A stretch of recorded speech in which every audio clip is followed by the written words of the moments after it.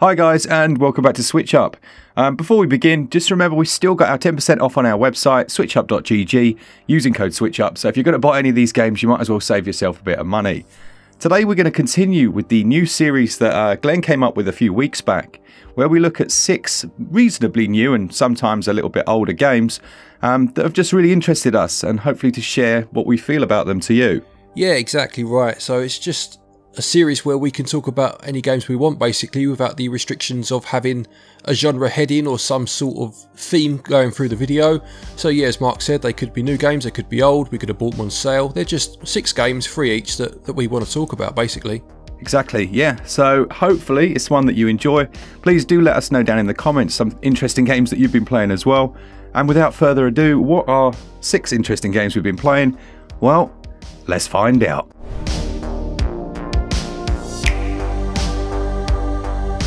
I'll start then, Mark. So, the first game I've been playing recently is a game called Lego Builders Journey. Now, I, I showed you to uh, this game the other the other night, didn't I? When we we met up. Hmm. It's a game that I'd had my eye on for quite a while, but it's a, a digital only game. I think it came out on Apple Arcade first, uh, but when it came to the Switch, it didn't have a physical release, so it always puts me off. and it's about 17, 18 pound, which is, is way too much for me to spend on a, a digital game. But it, it, dropped in sale. I think it went to 50%, which is still more than I've ever spent on a digital game, by the way. but it was time, you know, time to pick it up. Mm. And uh, it's it's just a, a really interesting puzzle platformer, I guess you could call it. Certainly a puzzle game based around obviously Lego. But it's it was quite interesting. I read the blurb for it, and it, it says that it's uh, aimed towards what's called AFOLs, which is a, an acronym for adult fans of Lego, which I'm, i would certainly class myself as. But the, the premise is that you basically you're moving your character, and it's not a Lego minifigure. It's like a, a, a person made out of Lego bricks, and it's almost like a father-son relationship you can see. And you, as the the child, the son, have to try and reach your father, and obviously there are obstacles in the way. You need you need to circumnavigate that by building across and, and using the bricks at your disposal to, to get to the other side, basically. Yeah, it's funny, isn't it, with the uh, AFOL community? It's it's a bit like the whole gaming thing. You you get a, a bit of stigmatism from some people because they see it as a, a child's pursuit, you know. Yeah, yeah, absolutely. Um, I think it is becoming recognised more now. Lego, I'm talking about, as something that adults can enjoy, but as someone that's nearly 40 and, and has enjoyed it my whole life and, and well into adulthood and, and has you know a, a, collection of it that I'm quite proud of to be fair. Mm. yeah you certainly get people that, that think it's a bit strange still to this day. You know if you have someone come around to fix something in your house or fit something or deliver something and they see your collection they're like oh you like Lego then do you you know? Yeah exactly. I mean this looks surprisingly complex. It's definitely aimed at adults right it's definitely yeah aimed towards adults. It's got beautiful aesthetic. Like mm. in terms of recreating Lego bricks and structurally, you know, the way that they should work. Uh, no other game has, has, done it as well as this one. And the basic premise, as I said, is you have to get to the, the goal of each level, but you can only move your character by laying down uh, the yellow bricks that you have. They almost work as like the track that your character will move along. So you have to keep those close to the character and then you'll have other bricks at your disposal that you can build, say, bridges or, or maybe you have to like rebuild something that's been broken. As there are stages where like water, waterfall will destroy a bridge and you have to repair it. So you can take that apart and use the pieces again to, to build as you go, but you have to keep these couple of yellow bricks close to your character so they can move along. Okay, so if you get stuck, what happens then? Well, if you get stuck, you you obviously uh, you can take what you've built apart and that's the one thing I will say about the game.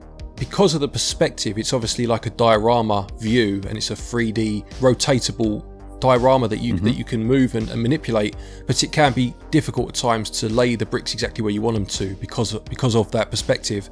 It's one of those where it, it's a shame, but it's understandable. I don't really know how they could have helped with that anymore, but it's such a relaxing game that it's never an issue, you know. Yeah. So you said you said uh, the other day when we were looking at it that you can build your own. Um, you can build your own ones. Is that right? It has a creator mode or creative mode. Okay. Um, which I'll be honest, I, I haven't tried because as a kid, obviously Lego was all about for me was all about you know being creative and making your own models.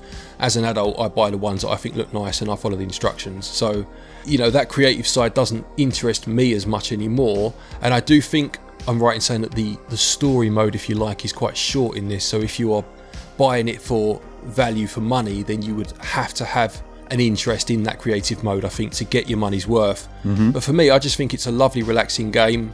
I was playing, you know, 10, 15 minutes a night, just a few little dioramas, and then you move on. Uh, I actually stopped playing it because the Turtles game came out and I had to review that. Um, but I will return to this one because it was a lovely way to just end end the day, really. You know. Okay. All right. Well, my first one is probably about as uh, what is it? Dialectic? Is that a word? Dialectically opposed? No, diametrically opposed. Is that right? Diametrically opposed. Yeah. yeah. Sounds wrong. I've created a few words in this series already. there was one. What was that thing? I said something, and something. This about five people keep using it at me. it was something to do with tentacles. I know that. Yes. I can't think what it was. Yes, I turned tentacles into like into like a verb, an adjective, or an adjective yeah. or something, didn't I? yeah, that's right. Man, well, well, let's just uh, let's just keep creating. Well, my one is uh, about as uh, as the opposite as you could possibly get to yours. Uh, and it's called The Suicide of Rachel Foster. Right. Okay. Yeah. And it's uh, it's from Daedalic Entertainment. It's a it's a it's a walking simulator horror game. Mm. Um, in the first person, we've seen it done quite often, but it was one where I wasn't sure what I was getting into. I mean, you saw the start of this. It's uh, set in a ski lodge, well, an abandoned family ski lodge that's been inherited by your character. Yeah. Um, and it turns out that obviously there's, by the title, there was a suicide there and there was some other bits going on with your father. But I wasn't sure if this was like a direct horror or if it was going to be just a full on walking simulator. Um, did you play Firewatch? Uh, no, I haven't played it, but I, I, know enough about it to know what you mean. Yeah, so uh, it kind of, well, I so I think, was going down the Firewatch route yeah. where you're never in any real danger. It's more about the, the atmosphere created. Mm. But there is something incredibly terrifying about being in this like fully open abandoned hotel. You can go anywhere, like it's massive. Mm. And I said to you, didn't I, last night about it? Just it feels like you're in The Shining. Yeah, yeah, yeah. And I, I can get you know I, I, watched you play about half an hour of this, I think. So nothing really happened, mm. but I could certainly see from the uh, the setting what you'd mean there. You know. Yeah, and it, it kind of takes takes me on to what we always talk about in terms of the best horror games. Now, everyone knows I'm terrified of horror games, they scare me a lot.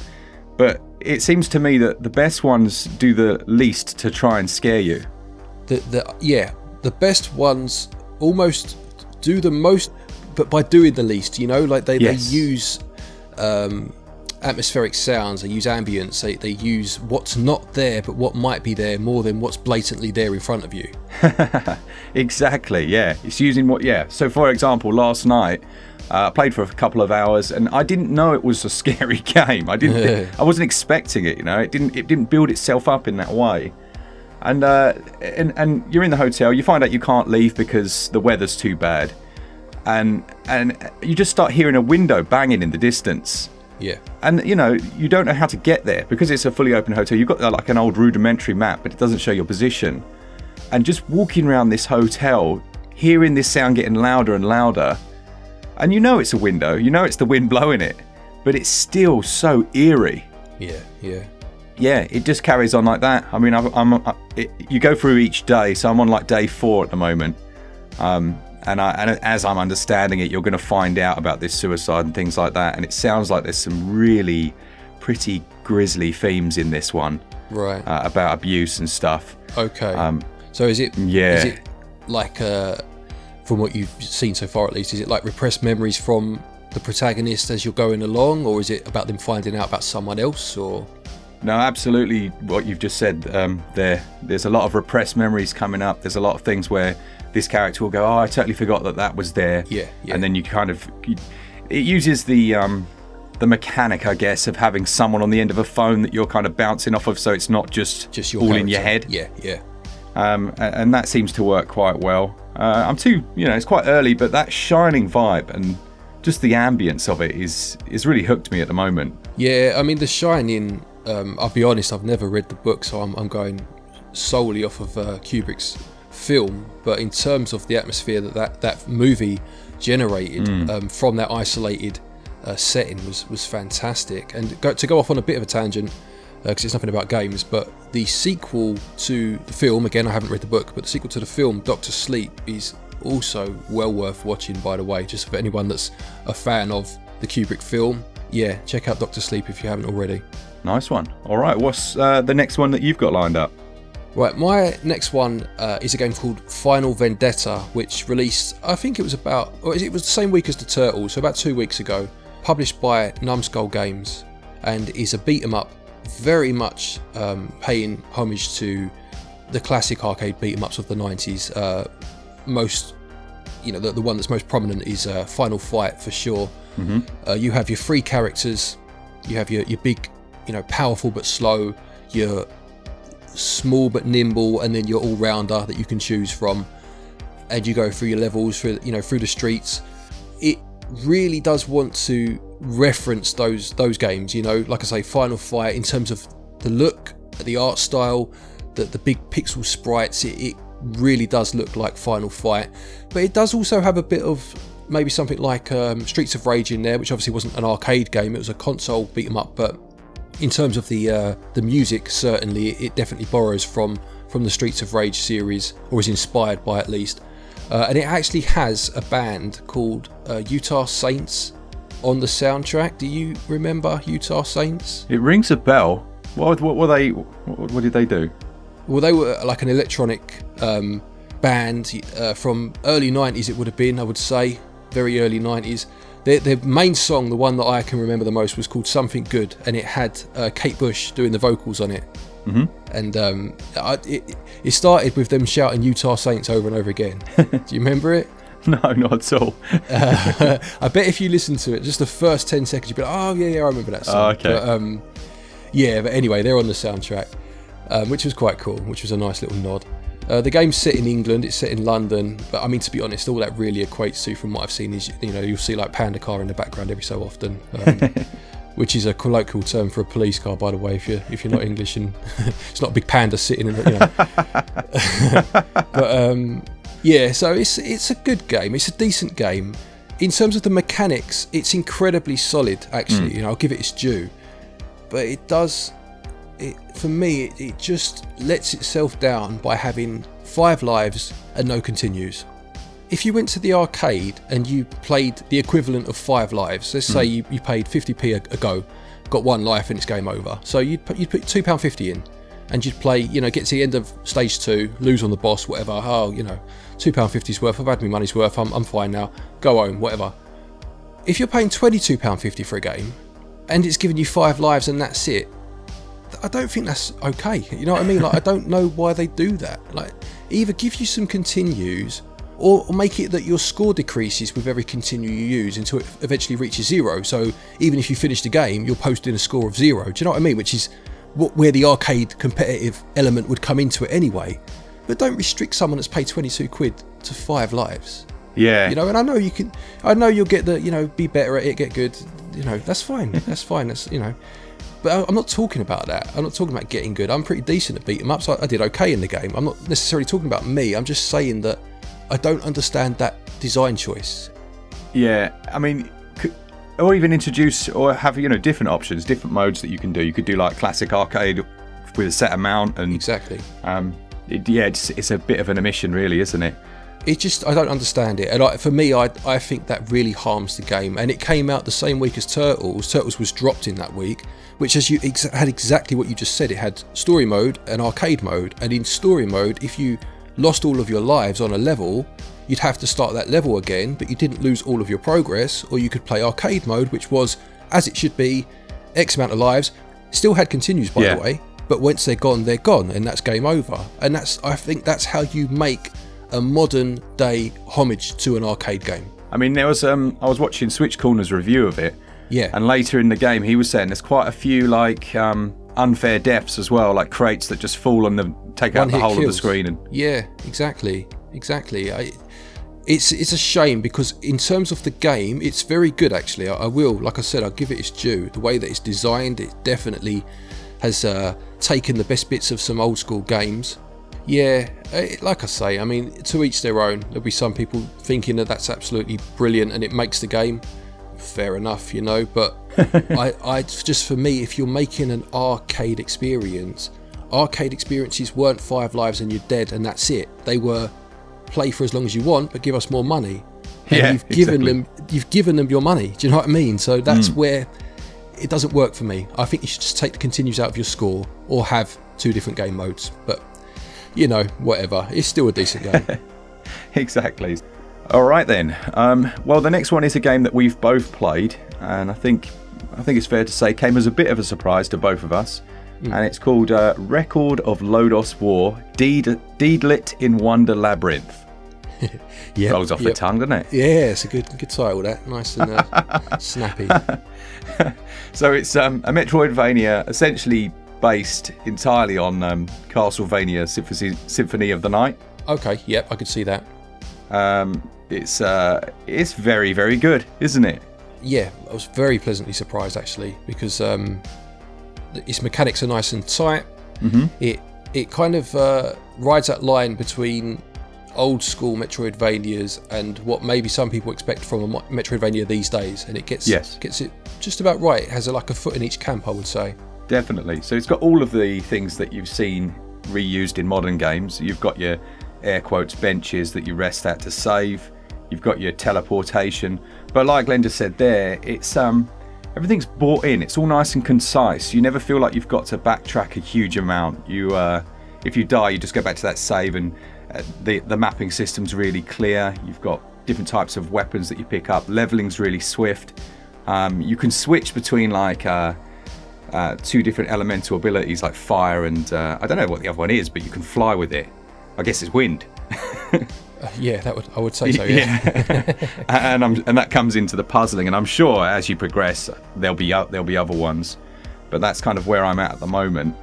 But it's just um, it's quite refreshing actually after having come off the back of a big, difficult Metroidvania game run. I won't say what it is in case we get all kinds of uh, comments there, but it's just everything's really swift. Yeah, yeah, exactly. It was. Um, it remind as for me as a fan of say Super Metroid. You know, that's the one for me that started it all off. It felt very.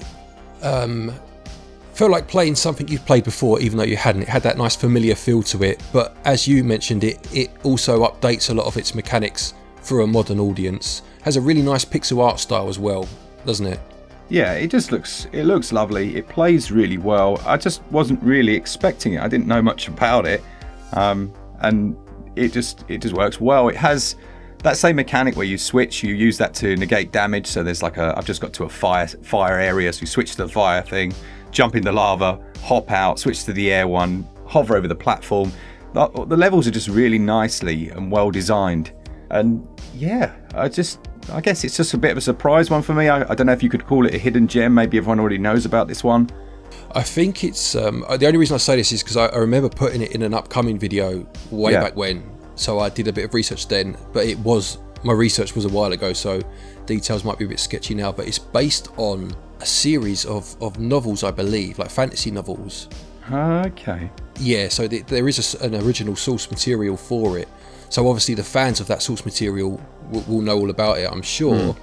But it, I do think it probably suffers from anyone that's not uh, or has no knowledge of that of the title probably putting some people off because it's incredibly long and and uh, quite confusing. And I, I would imagine that maybe that's seen it lost in the uh, the abyss of the eShop. To be honest. Yeah. No, it's and it keeps going on sale, so I definitely recommend it. Here's a here's a clanger for you. What's your favourite Metroidvania of all time? Go. I mean, uh, I'd have to say Super Metroid. I think I'm not saying it's the best, but it's certainly my favourite, just because it was the first one I ever played, and it at the time I played it, the age I was, you know, whatever I was, ten, I guess, something like that. The feeling of being lost and being somewhere and, and having to find your way out and, and mapping it all down, that was like my peak time for playing a Metroidvania and, and it making the impression on me that it wanted to make. You know, everything since you get that bit older and a bit more cynical and you don't have as much time. for that, that moment, for playing it at that time, I felt like I was on that alien world, you know? Yeah, quality. Absolute quality. How about Alright. you? Is it? Is it Oh well, you know, obvious? you know, Yeah. mi- mine's not as interesting because it's Hollow Knight by default. But I, and I actually feel like I need to play more. You know, I want to play more of the classics. Yeah, Um, I've yeah. bought a few games recently to, for that reason. You know, I, I, this weekend I bought the Castlevania collection. Um, yeah, there are a lot of games that I want to play because I don't want to just be that guy that's only played the modern ones. You know. Well, I mean, Symphony of the Night you mentioned at the start. I mean, if you want to play a good one, give that a go for sure. That's a great, that's a great Metroidvania.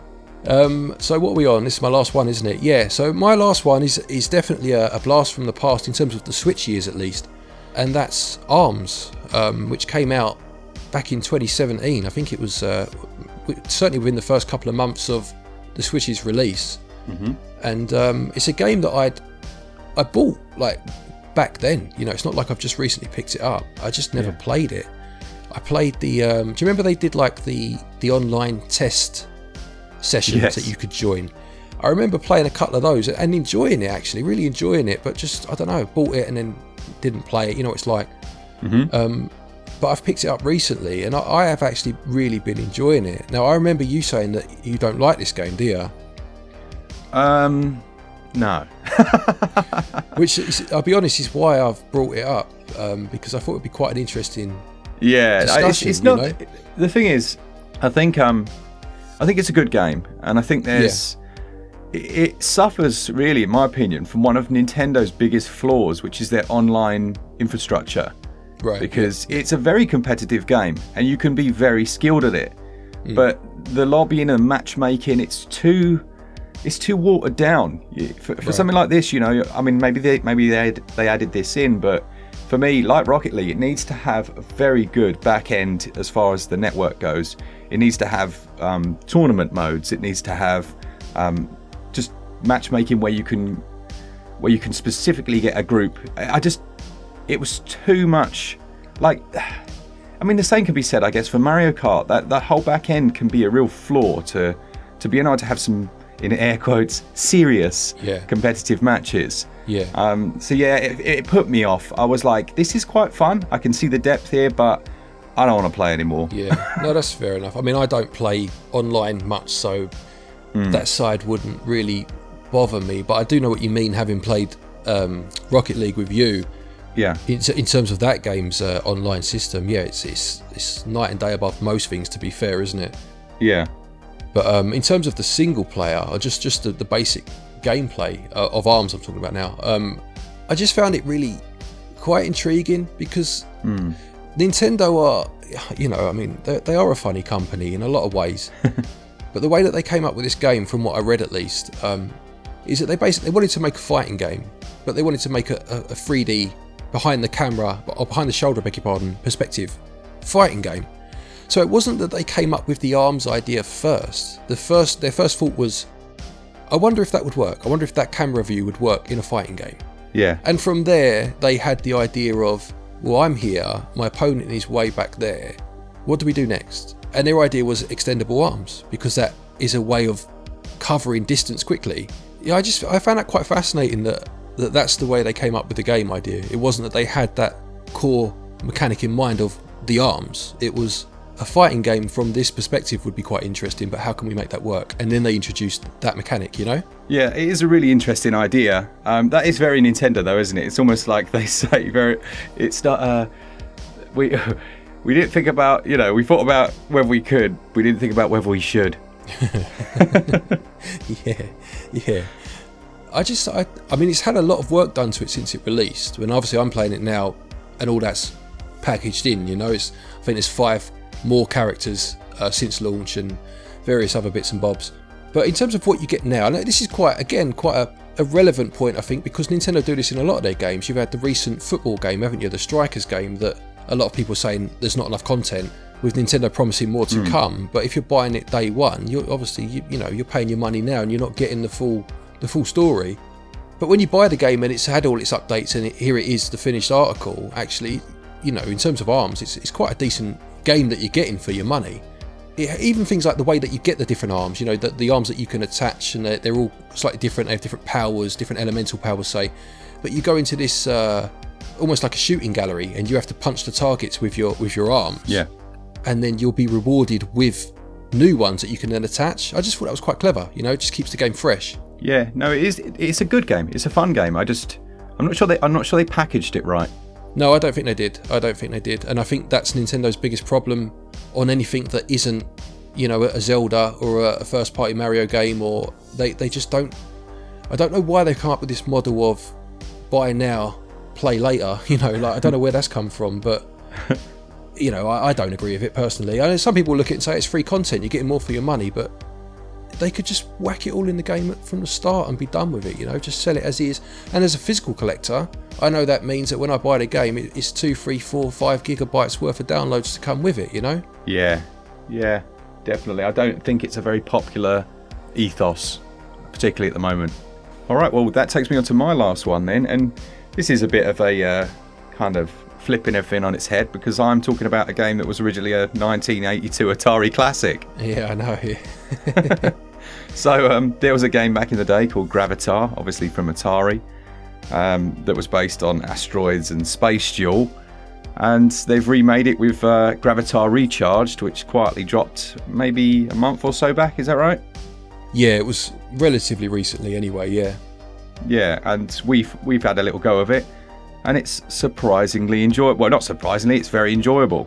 Yeah, I, I really enjoyed it. I mean, when you you text me, you know, just talking about this and that, and you mentioned Gravitar, and I read your message, and I, I, I remember saying to you, like, you mean Gravitar is in the Atari game Gravitar? Because that's not the sort of game I'd expect you to be playing. No. Do you know what I mean? But um, yeah, as you say, it's a, a remake of it and it's a very good one because Gravitar is a game that I know quite well from the Atari 2600. I never played it in the arcades, but um, such a hard game. Like I don't think I ever yeah. got anywhere, anywhere at all in the original.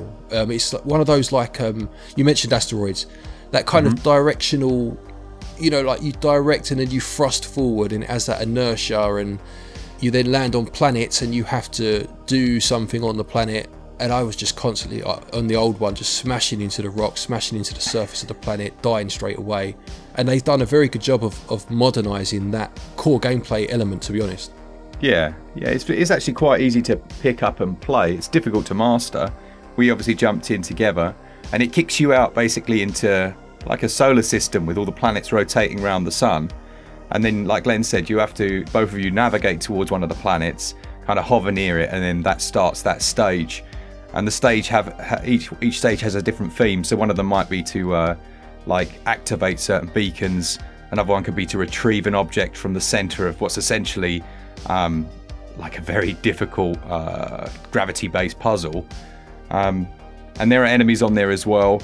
But the cool thing about it, and it's kind of Glen alluded to it there, is that the gravity shifts based on the stage. So some stages it might have a center of gravity, and you're rotating around that. Another one might have um, just inertia rather than any physical uh, gravitational pull taking you in that direction. And by having it mixed up like that, you never quite know what you were going to get, did you, when you entered an area? No. So you might leave, you know, you'd enter the this new planet and you might leave your controls for a moment because you're expected mm-hmm. you're expecting yourself to be still and you'd plummet towards the surface or on other levels it would be the other way around and you'd you'd uh, overcompensate and smash into something so it does take some getting used to but um, I, I, was, I'll be honest, I was very impressed how they took an older game that is is beloved, but one that I didn't particularly enjoy as a kid because I just couldn't mm. do it, and they've made it into a game that modern audiences would would enjoy. You know. Absolutely, and uh, it's one that you can pick up and play for a few minutes or have a bit of a longer session on. There's quite a few missions on there, and there's global leaderboards, which I always like, Glen.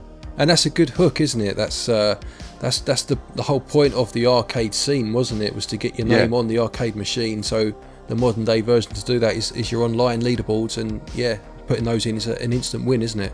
I know that Atari have released um, a few of these these games on the Switch. Uh, there's one for Missile Command. I think it's called Missile Command Recharged or something like that. Yeah, uh, and they're very good actually. They, they they all, they all do a good job of of modernising the game, whichever game it is that they are obviously uh, repackaging. Yeah, uh, they're, they're worth checking out if you if you know if you like your classic arcade games. Absolutely, and they're generally quite cheap as well. I think this one's seven pound ninety nine. Um, you know, you hit any kind of sale on that, and it's going to be basically peanuts. Um, so yeah, definitely worth checking out for sure. And for me, that is the end as well. That's it. Yep, that's our six games. Um, I would say quite a you know a, an eclectic uh, list of games there, yeah. quite a few different genres and uh, types of games. Like I say, or like we said at the beginning, you know, this series is just about us trying to express our love of games without it having to fit any sort of theme. And for me, it's quickly becoming my favourite new series because Yeah. it's nice to just be able to play stuff. And I hope that comes across in the videos and, and I hope you enjoy them. Absolutely, yeah, amazing. And just to get the plug in at the end, the website still 10% off, still the code switch up. Hopefully that'll be forever because I tend to use it myself quite a lot. Yeah, absolutely. But um, as far as we know at the minute, it's until the end of June. So yeah, do, do Yeah. get in there and uh, get your Switch cards just in case it isn't forever. Yeah. Uh, there's also a Play Asia link down there if you want your a physical uh, or physical games. You're into your physical games and you want to import anything. You get five percent off with that one. Uh, use the link and then use the code which is down there, and you'll save yourself a, a little bit of money. Awesome. All that's left to say is that for all things Switch all the time, I want to thanks to our patrons. You guys are amazing. Um, keep it SwitchUp. Cheers, guys. See ya!